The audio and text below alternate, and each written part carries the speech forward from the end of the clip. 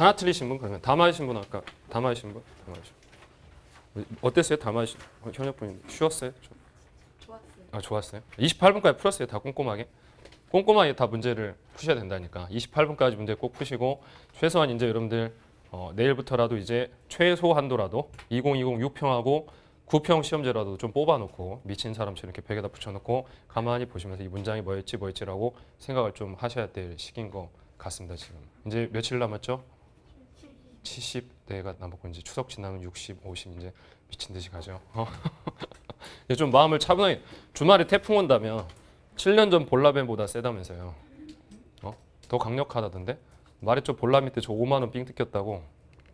볼라벤 부는 그날 또 기억나요. 학생들은 출근 안 하고 교사들은 출근하라 해가지고 출근길에 차 문 열었다가 차문 날아갈 뻔했다니까. 문을 열었는데 문짝이 진짜 이렇게 휘어져가지고 날아갈 뻔한 문을 붙잡고 차라 문을 닫은 다음에 내려가지고 학교 출근할 때 비가 너무 오니까 학생들 나오니까 반바지에 슬리퍼 신고 그냥 출근했는데 비가 너무 많이 오던 가운데 주머니에 뭐 있지라고 꺼냈는데 5만 원짜리 근데 뭐냐고 놓쳤는데 바로 날아갔어요. 네, 그래서 볼라벤을 절대 안 까먹어. 내 5만 원을 삥 뜯어간 태풍이 볼라벤 누군가 그 행복하게 볼라벤 부는 날 누군가 행복했을 거야. 5만 원을 주워갔으니까. 자, 1번 보시면 그 계속 이제 1번 문제 가지고 어제도 저한테 오타다. 윤리학은 실천의 학으로 이거 분명히 뭔가 한 글자 빠진 것. 아니 학문으로서 학 써준 거죠. 그냥 1번 문제 평이하게 등장했던 거죠. 윤리학은 실천의 학으로 도덕 이론을 응용하여 실제 삶에 제기되는 구체적 도덕 문제 해결을 궁극적 목표로 한다라고 이야기하니까 실천 윤리학의 대표 특징이에요. 근데 실천 윤리학이나 이론 윤리학이나 공통적인 건 둘 다 무슨 윤리학?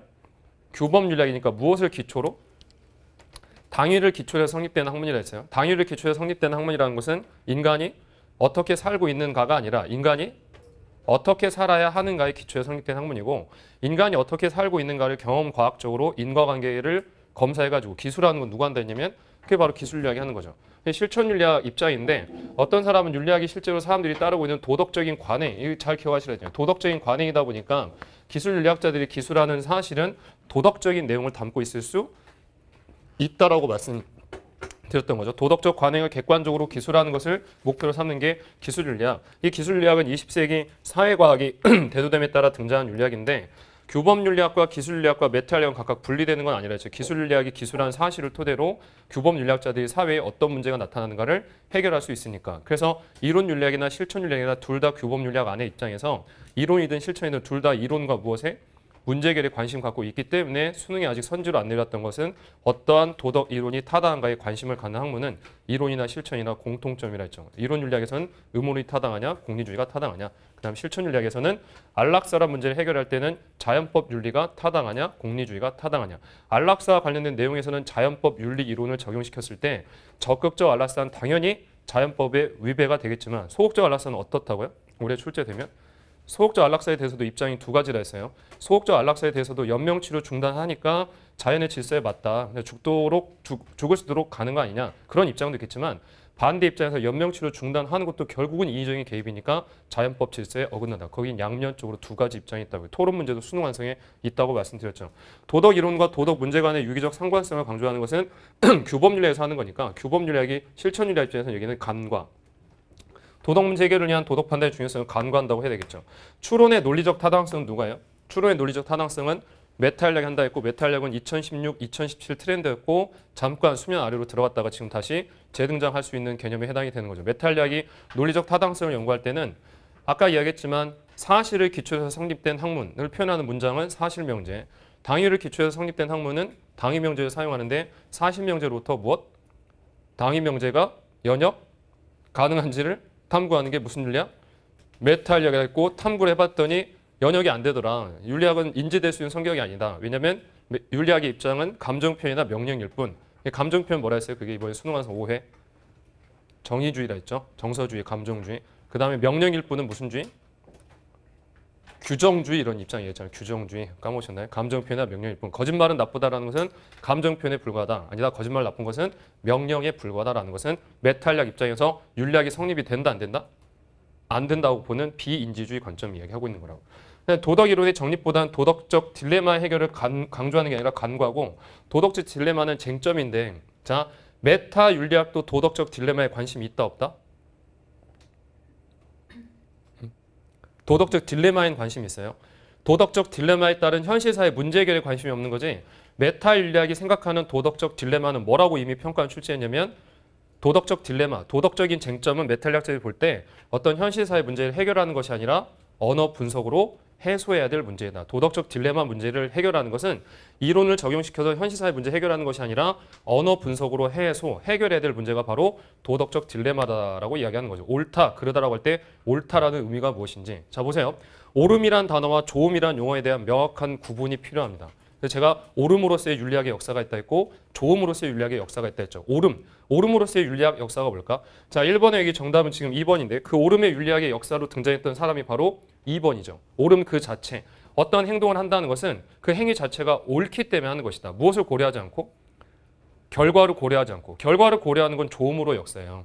그러니까 이게 형벌제도에 그대로 적용된다 했잖아. 칸트는 옳음 그 자체를 중시하기 때문에 형벌을 부과하는 그 자체가 옳은 거예요. 그러니까 형벌에 따른 조음을 고려한다 안 한다? 안 하다 보니까 형벌은 다른 선의 수단, 다른 조음의 수단이 될 수 없다고 이야기죠. 이거 진짜 틀리신 분들은 반성하시죠. 이거 수십 번도 했던 것 같아요. 수십 번, 수십 번 거짓말이고 솔직히 뭐 거리를 타면서부터 열 번 이상 했던 것 같은데 칸트 입장에 따르면 의무에 맞는 행위는 무엇으로부터도 가능하다? 의무에 맞는 행위는 동정심으로부터도 가능하다 했잖아요. 칸트의 동정심 그래서 정리를 할 때 칸트의 동정심에 따른 행동은 무슨적 가치가 없다? 이건 경향성이죠, 경향성. 칸트의 동정심 경향성에 따른 행동은 도덕적 가치는 없다. 도덕적 가치는 없지만 무엇과 일치는 가능하다? 의무와 일치는 가능하다 했죠. 감정이 불쌍해서 내가 저 사람을 도와줬다라고 이야기하면 여기 내용도 똑같잖아. 불쌍해서 도와줬다. 감정이 동해서 도와줬는데 도와줬다라는 의무와 일치했잖아. 근데 불쌍해서 도와줬으니까 감정이 이끌려서 도와준 것이기 때문에 이건 도덕적 가치가 없어요. 왜 도덕적 가치가 없지? 칸트한테서의 도덕적 가치가 발생하려면 동정심과 경향성을 뭐 해야 되기 때문이야? 배제해야 되기 때문이죠. 그 경향성을 배제할 수 있는 능력을 인간의 세 글자 무엇? 그게 자율성이고 그 자율성을 실현하는 것이 인간만이 가능하니까 이런 동정심과 경향성에 따른 행동은 도덕적 가치는 없고 의무와 일치만 가능할 뿐이다. 근데 이 동정심 경향성은 전혀 쓸모없는 게 아니라 이건 어디에 영향을 준다? 인간의 인간성과 도덕성에 기여한다 했잖아요. 인간의 인간성과 도덕성에 기여한다. 이 동정심 공감 능력은 인간이 타고나는 자연적 소질로서 인간의 도덕성과 인간성의 이로운 요소에 해당이 되는데 그 공감 능력과 동정심을 일상생활에서 잘 발휘하는 사람이 보다 더 도덕적인 행동을 할 가능성이 높다라고 이야기죠. 이게 바로 환경윤리 패턴에 그대로 적용된 거잖아요. 그래서 칸트 입장에 따르면 무생물까지 광물계에 있는 결정체 아름다움까지 사랑하는 사람이 인간성을 보다 더 드높일 수 있는 사람. 그래서 자연에 대한 무슨적 의무? 간접적 의무를 이야기했고 경향성을 가다가 배제하는 것이 인간의 자율성이다 보니까 경향성을 배제하고 인간이 어떤 행동을 할 때 도덕적인 행동을 하게 되는 건데 경향성을 배제한 행동은 도덕적 행동을 할 때뿐만 아니라 무엇을 할 때도 한다? 무엇을 감상할 때? 예술 작품을 감상할 때도 하기 때문에 칸트는 미는 선의 상징이다. 예술 작품 감상할 때도 자율성 실현했고 도덕적인 행동할 때도 자율성 실현하니까 예술 작품 감상의 태도나 도덕적인 행동하는 것이나 무엇이 유사하다? 형식이 유사하다라고 이야기하는 거죠. 그러한 인간이 도덕적 가치를 실현하면 칸트 입장에 따르면 인간만이 도덕적 가치를 실현할 수 있는 것이 아니라 국가도 이성적 존재로 판단하고 생각해서 국제 질서 사회에서도 국가와 국가 간의 도덕적 고려가 된다는 게 칸트의 영구 평화로. 그러니까 영구 평화는 실현되는 거죠. 왜? 인간도 도덕적인 행동을 할수 있듯이 국가와 국가 간에도 도덕적 관계가 성립이 된다라고 이야기하니까 이거 이상적이다. 이거 이상적이고 어떻게 국가와 국가가 도덕적 관계가 고려가 되냐 그런 건 없고 현실 사회는 국가 국가 사이의 전쟁, 힘의 균형을 일으켜야 되니까 도덕적 고려는 국가 사이에 일어나지 않는다가 무슨 주의? 현실주의 입장이고 현실주의에서 힘의 균형 이야기했더니 힘의 균형을 정치 사회로 끌고 와가지고 집단과 집단 간의 힘의 균형이 누구? 리브어 입장이고 힘의 균형에 따라 외압 억압 없이 의사소통 합리성 발휘하는 게 누구? 하버마스 입장입니다. 방금 이렇게 이야기했듯이 여러분들 final 정리를 하셔야 돼요. 누가? 제가 해드릴까요? 옆에 앉아가지고 여러분 일일이 가정 방문하면서 자 이제 우리 해보자 그게 아니고 이 시즌에 이제 이렇게 하셔야 됩니다. 여러분은 외웠던 내용들 외웠던 내용이 아니라 이해했던 내용들을 단어를 하나 보면 계속 생각하셔야 돼요. 꼬리에 꼬리를 물고 그래 이렇게 이렇게 이렇게 이렇게 쭉 가서 여기까지 연결될 수 있구나라고 연습을 해보셔야 됩니다. 여기 보면 칸트 그대로 말하잖아요. 의무에 맞는 것이긴 하지만 의무로부터 나온 것이 아닌 행위는 도덕적 가치를 가지지 못한다. 의무로부터 나온 것이 아닌 것, 동정심 경향성으로부터 나온 것, 의무의식에서 비롯된 행위. 그러니까 결국 의무의식에 따르고자 하는 의지, 무슨 의지가 발휘돼야 돼요? 선 의지가 발휘돼야 되고 선 의지에 따라 무슨 법칙을 따르고자 하는 도덕 법칙. 도덕 법칙은 모든 준칙이 아니라 무슨 준칙? 보편화된 준칙이라 했죠. 그 도덕 법칙. 그 도덕 법칙은 경험에서 만드는 거야. 자, 경험을 토대로 보편화된 준칙에 따르는 삶을 사세요. 맞아 틀려요? 경험에 따라 발견한. 경험에 따르는 것이 아니 아니니까 세 글자로 뭐라 했어요? 선험적으로 했잖아. 그래서 선험적으로 정초된 법칙, 선험적인 것에 근거된 법칙. 그게 도덕 법칙이라고. 여기 봤더니 천성적으로 동정심이 많은 A는 평소 남을 돕는 일에 기쁨을 느끼며 봉사활동에 참여. 근데 A는 최근 겪은 슬픈 일로 인해 봉사활동에 계속 참여할지를 고민하고 있으니까 감정이 이끌리고 있잖아. 1번의 공동체의 전통과 덕목은 무슨 윤리에서? 덕윤리에서 주로 많이 하죠. 덕윤리에서 비판하는 게 얘는 공동체의 전통과 역사 따위 무시하잖아. 이런 칸트의 전통을 따라온 사람이 누구? 스스로 이렇게 도덕 법칙 세우고 스스로 판단한다. 그럼 스스로 판단할 수 있는 개개인들을 가다가 무지의 베일 속에 몰아놓고 가상상을 펼쳐놨던 거죠. 그게 누구? 롤스죠. 롤스. 롤스도 그래서 보편화된 가능성을 무지의 배려서 하고 싶었던 거고 그 보편화된 준칙에 따른 토론 이야기하고 싶었던 사람 6평 나왔고 9평 안 나왔죠. 수능 나올 가능성이 있죠. 보편화된 준칙에 따른 담론 누구? 그게 바로 하버마스잖아요. 그래서 하버마스나 롤스의 공통점은 만장일치를 이야기하는데 롤스는 가상 상황에서 하버마스는 현실에서 보편화된 준칙에 의한 담론 이야기했던 겁니다. 이번에 자연적 경향성에서 비롯된 준칙은 보편화 가능성이 없지. 그러니까 자연적 경향성에 따른 준칙을 행하게 되면 도덕적 가치가 있어요, 없어요? 없다는 거지. 그러면 자연적 경향성에서 비롯된 준칙이 의무와 일치할 수 있다는. 어?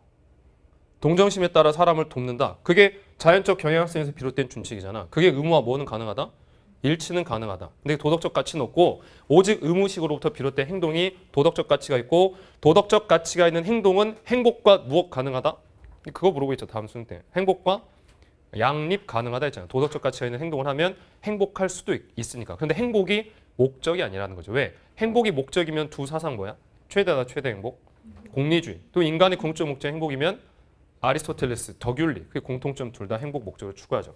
선한 목적을 위해 조건적인 명령. 조건적인 명령은 가원 명령이니까 아니고 그냥 사회적으로 칭찬과 인정을 받을 수는 있겠지 이런 행동을 하다 보면 근데 이거는 무엇을 고려한 거예요 지금? 사회적 칭찬과 인정을 고려하면 결과를 고려했으니까 안 되고 5번처럼 자신의 감정이 아닌 보편적 도덕 법칙, 보편화된 준칙에 따라 행위하는 거 정답이 5번이 됐던 겁니다. 많이 나왔던 패턴인데 그 다음 이제 물어보고 싶은 거지. 동정심이 필요한지 안 필요한지 그리고 도덕적 가치에 행동을 하면 행복과는 어떤 연관성이 있는지 그런 거 물어보려고 문제 냈던 겁니다.